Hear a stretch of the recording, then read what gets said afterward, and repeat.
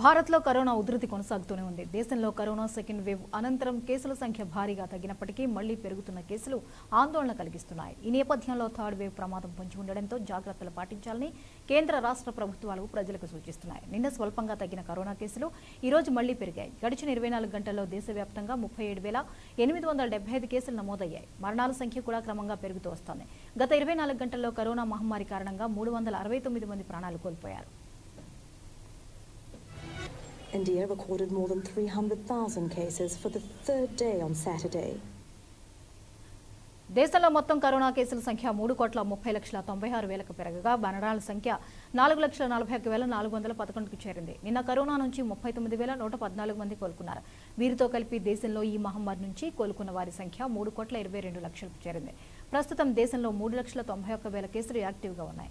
కాగా దేశంలో నమోదవుతున్న కేసులు మరణాల్లో అరవై శాతానికి పైగా కేరళ రాష్ట్రంలో నమోదవుతున్నాయి.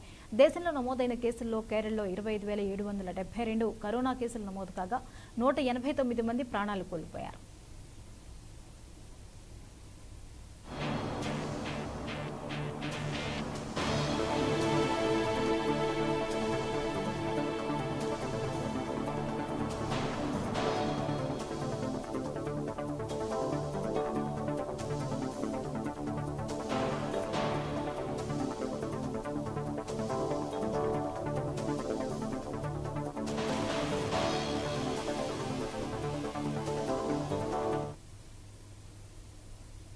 శ్రీశైల మహాక్ష